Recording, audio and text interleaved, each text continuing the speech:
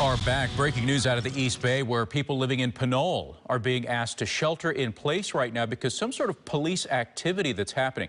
Here on the map, we're showing uh, what the department sent out, showing the area that people need to stay inside. And we're talking about people on Kildare Way between Marlessa Road and Tara Hills Drive, and also on Barkley Court, too. You're being advised to lock down in the nearest place of safety. In fact, here's the specific message from police. They say go inside, close and lock all windows and doors, and stay off the phone, and do not call 911 unless you need to report a life-threatening emergency. Again, we have a reporter headed to the scene right now, and we'll keep you updated as we learn more. But that shelter in place in Pinole because of a police activity. We'll, we'll let you know, again, when we find out more details.